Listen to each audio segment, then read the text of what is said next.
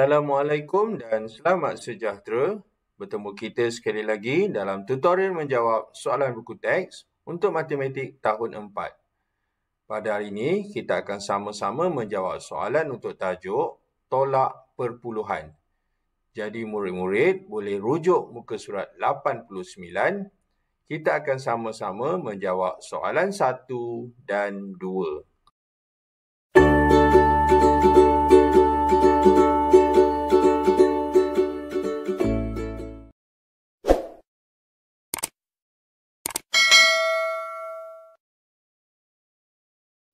Soalan 1. Kira baki. A. 2.3 gram tolak sifar perpuluhan 74 gram. Jadi, langkah pertama untuk menjawab soalan ini, kita akan salin semula terus dalam bentuk lazim. Okay? Jadi, yang penting kita letak nilai tempat yang betul. Okey, 2.3 kita salin 2.3.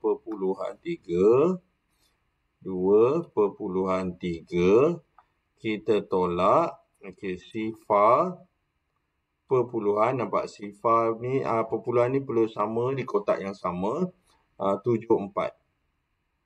Okey, jadi kita letak unit kita letak terus jawapan sesaji. Okey, dan kita garis.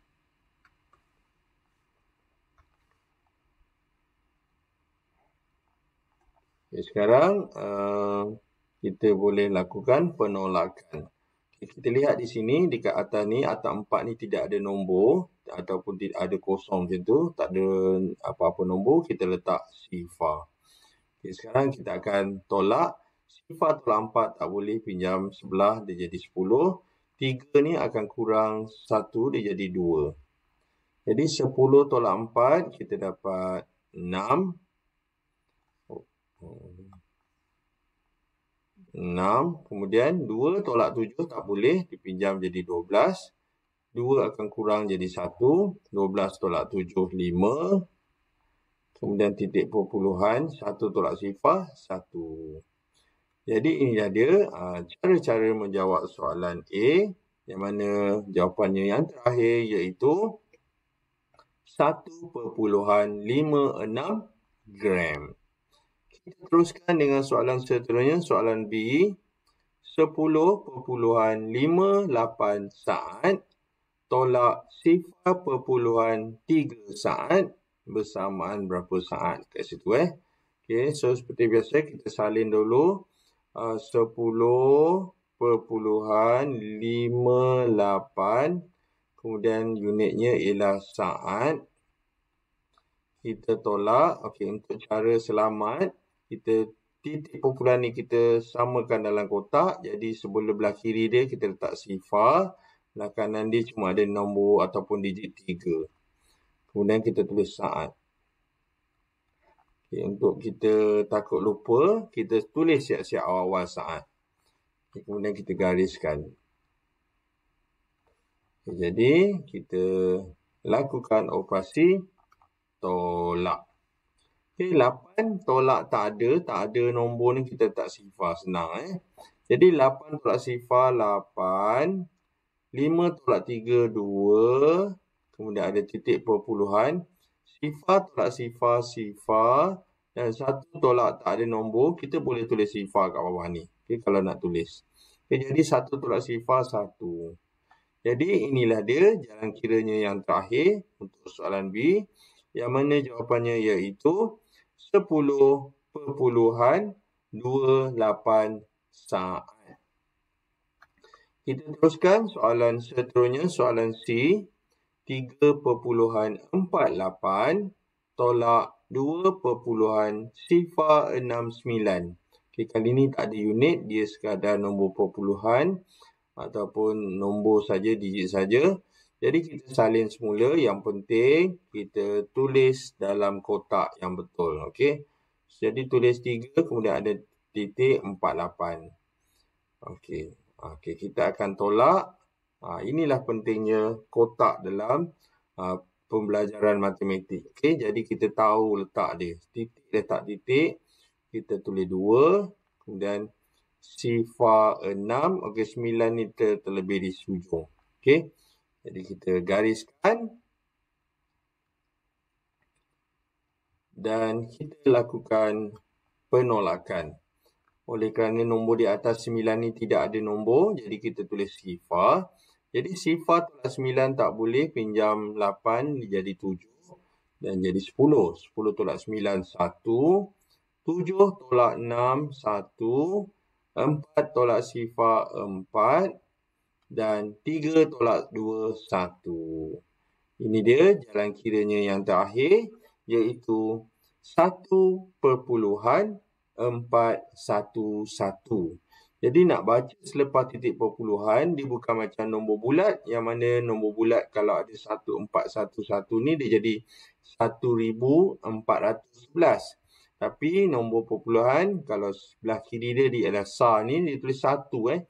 Satu kita sebut perpuluhan. Kemudian kita sebut satu persatu digitnya iaitu empat satu satu. Jadi saya ulang semula aa, bacaannya iaitu satu perpuluhan empat satu satu. Kita teruskan dengan soalan di 496 perpuluhan 984 tolak 70 perpuluhan 56. Jadi kita salin dahulu nombornya iaitu ataupun soalannya. Okey nampak ni 496. Dia macam nombor bulat macam ni. Bila ada titik perpuluhan ah, kita akan sebut satu persatu. 9, 8, 4. Okay, jadi nombor di sebelah ni adalah 70 kan. Kita sebut 70. Kita tulis rumah puluh dia tujuh puluh perpuluhan lima enam. Jadi kita tolak.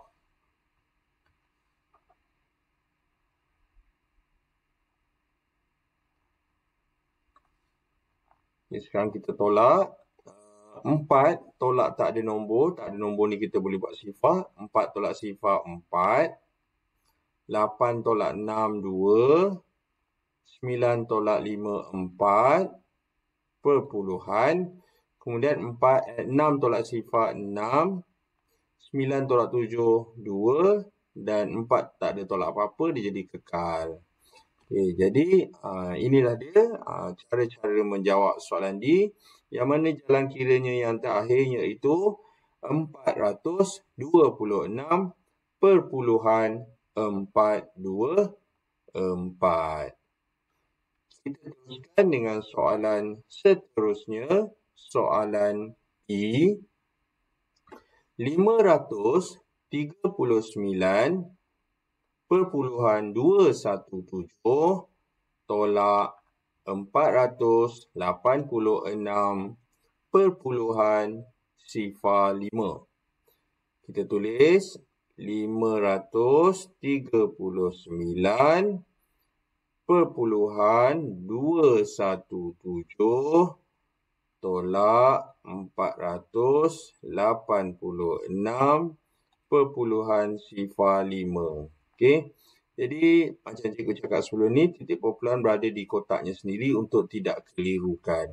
Tapi andai kata kita belajar di sekolah uh, berbeza-beza jadi setengah cikgu awak ajar macam ni titik dekat atas garisan cikgu tak nafikan ini juga uh, diterima. Okey, yang penting kita ikut kata cikgu kita selagi mana dia tidak mengganggu uh, konsepnya eh. Jadi kalau kalau macam ni salah ke?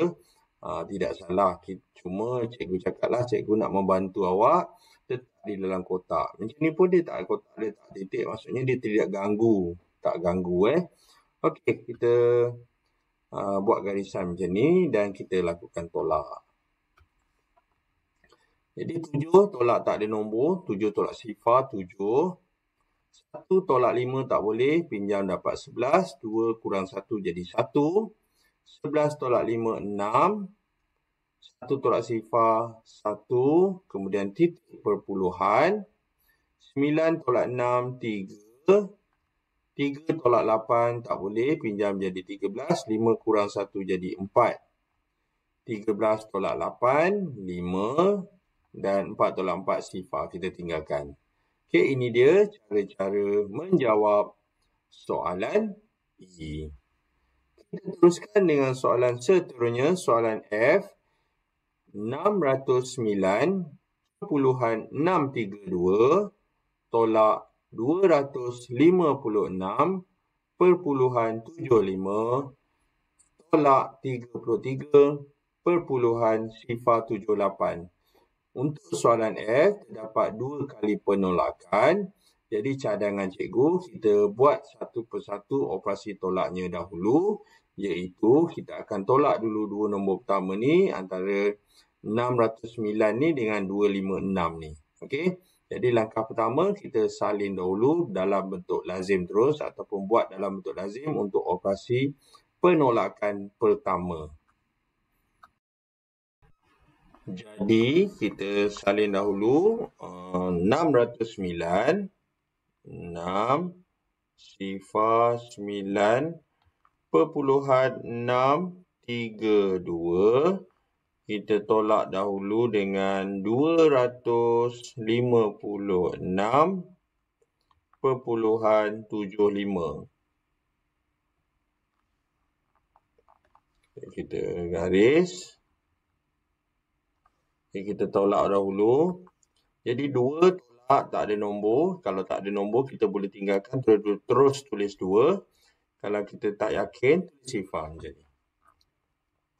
Jadi 2 tolak sifar 2. 3 tolak 5 tak boleh. Pinjam jadi 13. 6 kurang 1 jadi 5. 13 tolak 5, 8. 5 tolak 7, okey tak boleh. Pinjam sebelah jadi 15. 9 kurang 1 jadi 8. 15 tolak 7, 8. Kemudian titik ha, titik perpuluhan. Kemudian 8 tolak 6 kita dapat 2. Kemudian sifar tolak 5 tak boleh pinjam jadi 10. 6 kurang 1 jadi 5. 10 tolak 5, 5. Dan 5 tolak 2 tinggal 3. Okey. Kemudian kita boleh salin di bawah ni tolak. Tapi kalau kita tak nak, kita juga boleh salin sebelah dekat sebelah ni. Kita tulis 352 tapi pastikan salin nombor yang betul okey ha, kadang-kadang kita salah tulis jadi kita pun salah jawapan jadi kita tolak dengan 33 perpuluhan sifar 78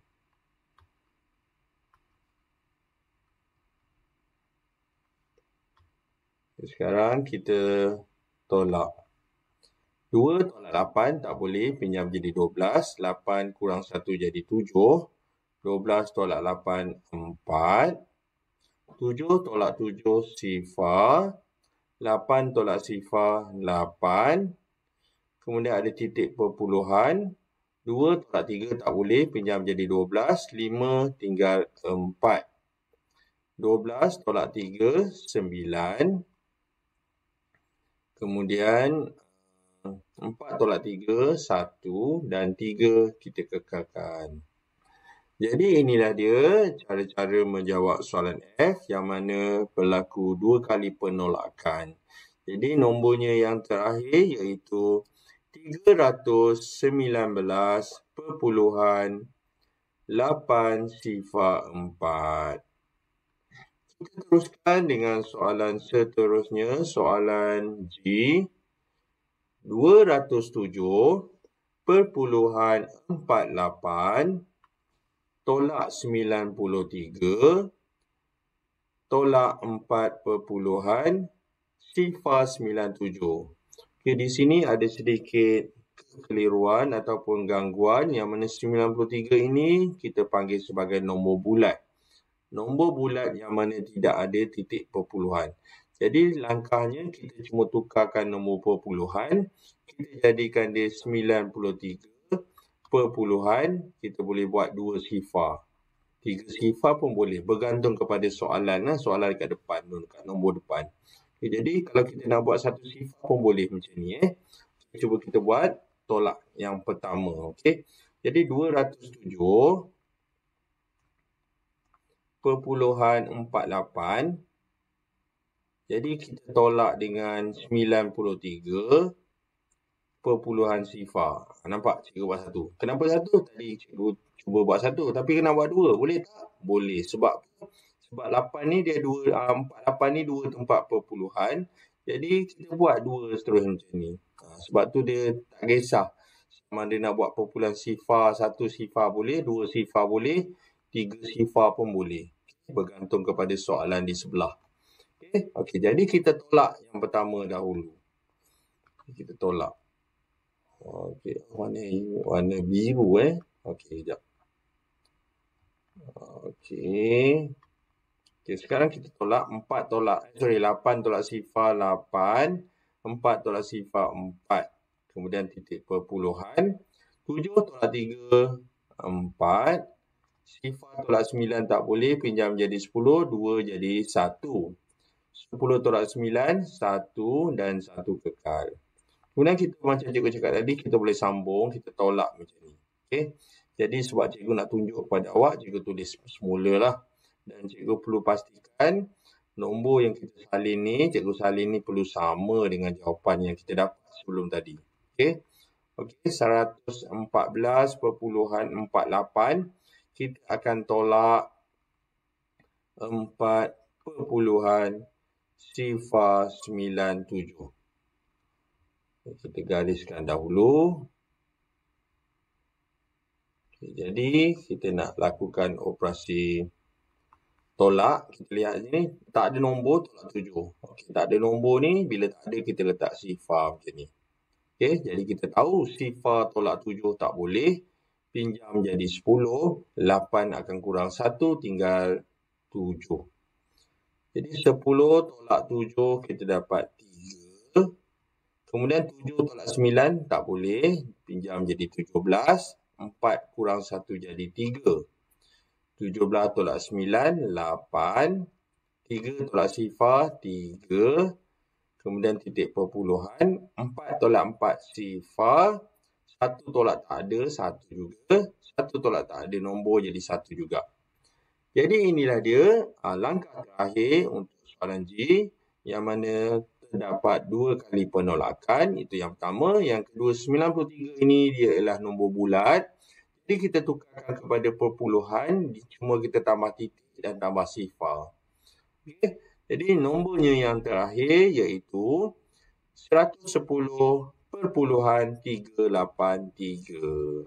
Okay. Itulah dia cara-cara menjawab soalan G. Kita teruskan dengan soalan seterusnya, soalan H. 54 perpuluhan sifar 4 tolak 8 perpuluhan 62 tolak sifar perpuluhan 67. Jadi terdapat dua kali penolakan, maka kita akan lakukan penolakan ataupun operasi tolak satu persatu.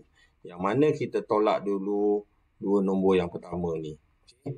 Maksudnya depan tolak belakang ataupun besar tolak kecil. Eh. Jadi kita tulis 54 perpuluhan sifar 4 tolak 8 perpuluhan 62. Jadi kita gariskan dan kita tolak. 4 tolak 2 tinggal 2. Sifar tolak 6 tak boleh. Pinjam jadi 10. 4 akan kurang 1 jadi 3.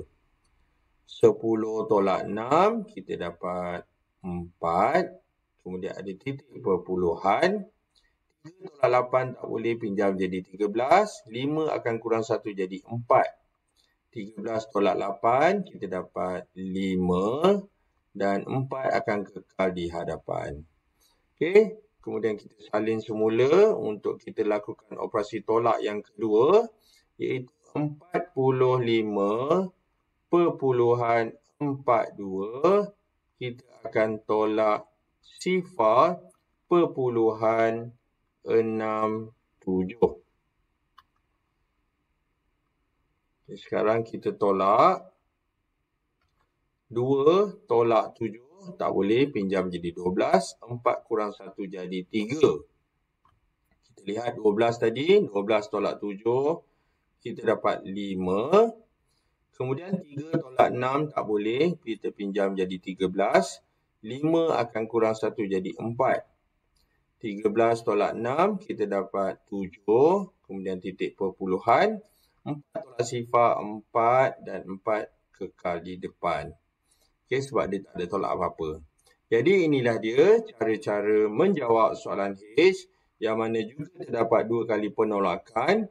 Jadi nombornya yang terakhir iaitu 44.75. Kita teruskan dengan soalan seterusnya. Soalan 2. Lengkapkan ayat matematik. 8.7 tolak kotak kosong yang kita tak tahu bersamaan 2.64. Jadi untuk menjawab soalan uh, melibatkan perpuluhan yang kita tak tahu kotak di dalam ni, jadi kita boleh tukarkan kepada ayat matematik untuk nombor bulat yang lebih mudah. Ibaratnya kita bagi contoh soal uh, 5 tolak berapa bersamaan 4. Okay, jadi kita tahu kita boleh jawab secara congak iaitu 5 tolak 1. 5 tolak 1 akan dapat 4. Maka sebenarnya uh, untuk mendapatkan nombor di tengah, kita boleh lakukan konsep 5 ni tolak jawapan ni. 5 tolak 4 kita dapat dekat 1 ni. Okay. Jadi untuk menjawab soalan A ni, bagaimana nak dapat nombor di tengah? Maka kita akan tolakkan 8.7 dengan 2.6 empat. Jadi kita lakukan terus dalam bentuk uh, lazim iaitu 8.7 tolak 2.64. Okey, sekarang kita tolak. Okey, kalau nombor dekat atas ni tak ada nombor, maksud cikgu ruang ni tak ada nombornya, jadi kita letakkan uh, digit sifar. Okey. Jadi sifar tolak 4 tak boleh. Pinjam jadi 10. 7 kurang 1 jadi 6. 10 tolak 4 kita dapat. Eh sorry. 10 tolak 4 kita dapat 6. Ya ya sorry. 6. Okay, jadi 6 tolak 6 kita dapat sifar. Kemudian titik perpuluhan. 8 tolak 2. 6. Maka inilah dia uh, jawapan yang terakhir yang kita dapat. Iaitu 6 perpuluhan sifar 6. Okay, kalau kata kita tak yakin dengan jawapan kita, kita boleh lakukan operasi songsangan untuk semak semula. Tapi sebab kita dah tahu nombor ni ialah 6.6, so kita terus je buat 8.7. Kita tolak dengan jawapan yang kita dapat. 6.6. Uh, sifar 6. Okey, dapat tak 2.64 eh? Okey, ini ialah kerja semak eh. Semak. Jadi kita cuba lakukan untuk semak sama ada betul atau tidak jawapan kita. Ini kita tolak. Okay, kita cuba. Jadi sifar ni tak ada ni kita tak sifar. Okay. Jadi um, sifar tolak 6 tak boleh pinjam jadi 10. 7 akan jadi 6. 10 tolak 6, 4. 7 tolak sifar. Eh sorry dia jadi 6. 6 tolak sifar 6. Jadi 2. Ah, jawapan ni kita akan dapat balik kat sini. Eh. Okey, maksudnya uh, betul lah yang kita kira ni iaitu jawapannya yang terakhir iaitu 6 perpuluhan sifar 6. Kita teruskan dengan soalan seterusnya, soalan B. Okey, masih lagi kotak kosong di tengah. Jadi 59 tolak 3.67 tolak berapa dapat? 28 perpuluhan sifar 74. Maka konsep yang sama kita akan lakukan seperti soalan tadi. Kita tukarlah, cikgu tukarkan kepada nombor-nombor lain. Iaitu contohnya 4 tolak berapa dia bersamaan uh, 1. Uh, kita nak, uh, okay. Okay. Jadi 4 tolak berapa dapat 1. Jadi untuk mendapat nombor di kotak ni, 4 tolak 1 kita dapat ruang di tengah ni iaitu 3. Maka konsep ini kita akan lakukan untuk soalan operasi tolak perpuluhan ni iaitu 59.367 kita akan tolak 28 perpuluhan sifar 7 4. Ya, kita buat bentuk lazim terus. 59 perpuluhan 367 kita tolak 28 perpuluhan sifar 7 4. Okay, sekarang kita lakukan penolakan satu persatu. Okay, jadi 7 tolak 4 kita dapat 3. 6 tolak 7 tak boleh pinjam jadi 16. 3 kurang 1 jadi 2. 16 tolak 7 9. 2 tolak sifar 2. Kemudian ada titik perpuluhan.